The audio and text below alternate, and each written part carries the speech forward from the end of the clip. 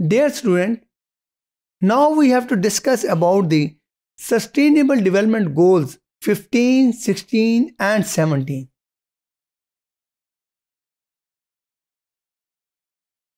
Sustainable development goals जो 15 है उसके अंदर है लाइफ ऑन लैंड हमने पहले गुफ्तु की थी कि हमने समंदर की ज़िंदगी के ऊपर बात की थी अब हम जो लैंड के ऊपर ज़िंदगी है प्लेनेट के ऊपर, हमारी अर्थ के ऊपर, इसके अंदर जो हमारे पास प्रॉब्लम आ रहे हैं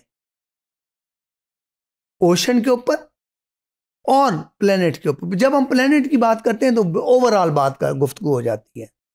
जब हम अर्थ की प्लेनेट की बात करते हैं तो इसमें लैंड की बात करते हैं तो इसमें ओशन भी शामिल है, दूसरी चीज़ें भी शामिल है फॉरेस्ट भी शामिल है। अब ये तमाम चीज़ें जो है हमारे पास जिसमें फॉरेस्ट भी है, अर्थ की सरफेस भी है। उसके बाद मिलियंस ऑफ़ स्पेशीज यानी इंसान तो एक है ना। इंसान को तो अशरफुल मखलूक़ात बना दिया। इंसान के अलावा मिलियंस ऑफ़ द स्पेशीज जो हैं, उनकी ज़िंदगी है। वो चाहे पानी के अंदर है, वो चाहे जंगलों के अंदर है, फॉरेस्ट में है, जहाँ कहीं भी है तो वो तमाम जो other than the human being species हैं मिलियंस हैं, वो भी हमारे पास बहुत इम्पोर्टेंट सोर्स हैं। उसके बाद हमारे पास क्लीन एयर है वाटर है crucial of the combating the climate change अब देखिए क्लाइमेट चेंज के से जो मुख्तलिफ़ प्रॉब्लम हो रहे हैं ग्लोबल वार्मिंग हो रही है हमारे पास। उसके बाद हमारी ओशन की लाइफ अफेक्ट हो रही है। हमने पहले भी गुफ्तु की है इसके ऊपर कि हमारे पास जो धुआँ देने वाली गाड़ियाँ हैं एयर पोल्यूशन हो रही है, हमारी वाटर पोल्यूशन हो रही है। इन सबको जो लाइफ ऑन लैंड है, जिसमें हमारे जंगलात काटे जा रहे हैं प्लांटेशन प्रॉपर नहीं हो रही, उससे क्या असर? अब अब आप देखेंगे इसको बड़े सुनहरियों के अंदर देखें तो बड़े सुनहरियों के अंदर क्या है कि वो तमाम जानवर जिनकी ज़िंदगी का इसार फॉरेस्ट के ऊपर है, वो डिस्टरबेंस क्रिएट हो गई। वो जानवर खत्म होने शुरू हो गए। और बहुत से जानवर ऐसे हैं जो दुनिया में नापायद होते चले जा रहे हैं। इनको भी सेव करना है। हमने जंगलात को सेव करना है। हमने उन जानवरों को सेव करना है, जिनकी जिंदगियाँ जो हैं वो फॉरेस्ट की बेस पे हैं।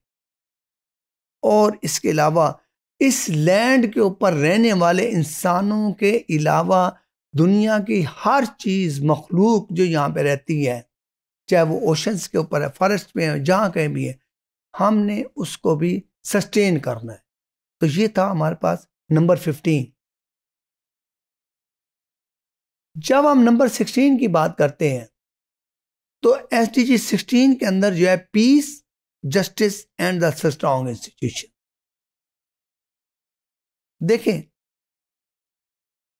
दुनिया सारी जो है ना, वो अमन चाहती है। वार नहीं चाहती।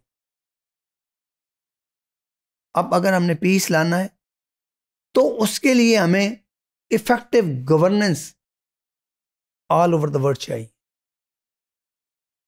और अगर हमें इफ़ेक्टिव गवर्नेंस चाहिए तो ये याद रख लें कि दुनिया की कोई भी चीज़ की sustainability peace stability of the human rights के बगैर मुमकिन नहीं।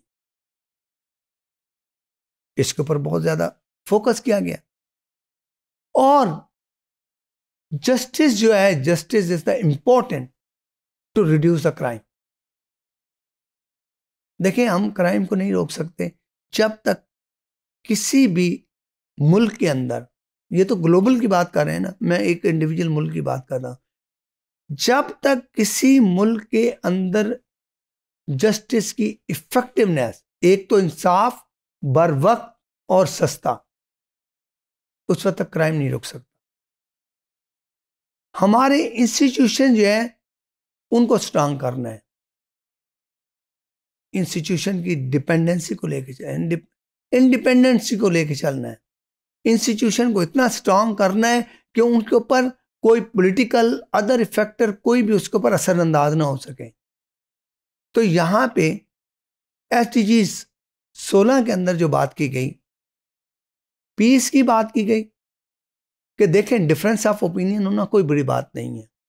पूरी दुनिया में डिफरेंसेस होते हैं डिफरेंस ऑफ़ ओपिनियन होता है, लेकिन डिफरेंस ऑफ़ ओपिनियन की वजह से डिफरेंसेस डाल देना यह गलत बात है। उसके लिए ज़रूरी है दुनिया में पीस के लिए ज़रूरी है कि हम जो डिफरेंस ऑफ़ ओपिनियन रखते हैं, उसको पेशेंस के साथ सुनना और समझना सीखें। जस्टिस ज़रूरी है कि जब तक जस्टिस नहीं होगा, हम क्राइम नहीं ख़त्म कर सकते। उसके बाद इंस्टीट्यूशन को स्ट्रांग होना चाहिए कि तमाम दुनिया के, तमाम दुनिया के इंस्टीट्यूशन जो है, वो स्ट्रांग हो। अब अगली बात जो है वो हमारे पास है S T G seventeen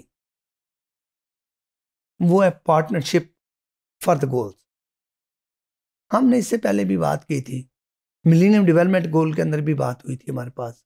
M के अंदर भी बात हुई। और उसके अंदर भी आपने देखा कि डेवलप कंट्रीज़ और डेवलपिंग कंट्रीज़ के दरमियान हारमोनी पैदा की गई। पार्टनरशिप की गई।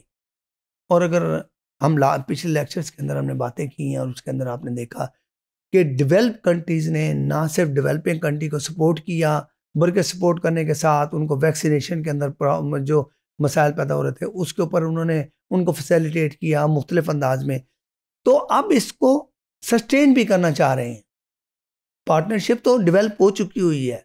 अब इसकी सस्टेनेबिलिटी का इशू है और वो सस्टेनेबिलिटी उस वक्त तक मुमकिन है जब तक official development assistant remains set by but below targets at the 175 147 billion US dollar in 2017 target किया गया। बहुत से कंट्रीज़ ऐसे हैं जिन्हें official development assistant to encourage the growth and trade चाहिए।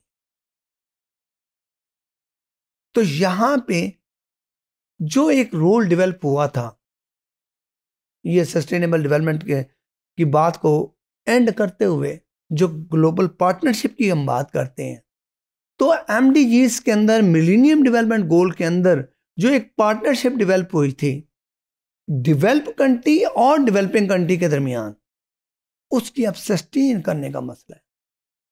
कि इसको आंदा भी सस्टेन किया जाए और जितने भी डेवलपिंग कंट्री हैं, उनको एम्पावर किया जाए और इनक्वलिटी को ख़त्म किया तो बुनियादी तौर पर इसके अंदर जो एस चीज़ हैं, जिनके ऊपर सेवनटीन के अंदर हमने बात की। तो मैं समझता हूँ कि इसमें जो सबसे बड़ा रोल प्ले किया है और रोल प्ले कर रहे हैं, वो डेवलप्ड कंट्री कर रहे हैं। डेवलप कंट्रीज़ जो हैं, वो डेवलपिंग कंट्रीज़ को सपोर्ट कर रहे हैं। और उनकी सपोर्ट से पूरी दुनिया के अंदर एक हेल्दी सोसाइटी डेवलप हो रही जिसमें education, health, peace, justice, strong institution, ये तमाम चीज़ें जो हैं, वो पूरी दुनिया के अंदर इनक्वलिटीज़ को ख़त्म करते हुए बेहतरी की तरफ़ आ रही हैं। और हम उम्मीद करते हैं कि 2030 तक सस्टेनेबल डेवलपमेंट गोल्स जो है, वो अपने टारगेट मैक्सिमम पूरे कर लेंगे।